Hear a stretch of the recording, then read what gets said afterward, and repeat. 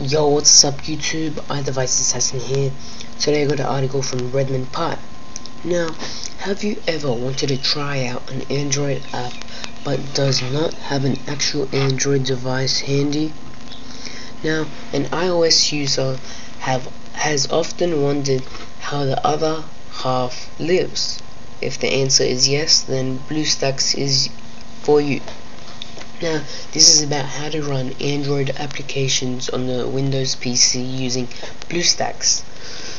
Now, uh, what BlueStacks does is fairly simple. It's basically um, a virtualization for Android. Install BlueStacks on your Windows machine and the software allows you to run an instance of Android right inside the app.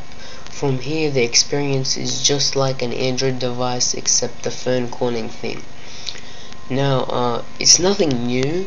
This um, we they've been doing it for years with VMware or whatever um, everything and there will be a link in the description to read this article and also a link to go to the BlueStacks web page um, which is like this um, and yeah. So you go back to the article. Now it says that the um yeah. That's all I'm gonna say guys. Thanks for watching. Like comment subscribe